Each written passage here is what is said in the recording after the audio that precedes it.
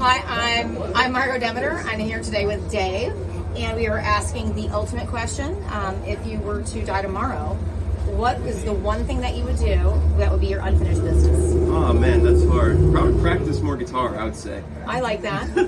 Uh, someone who needs to learn. How, how oh, good yeah. are you at the guitar? Not very. Not very yet. The word is yet. Yet. I try.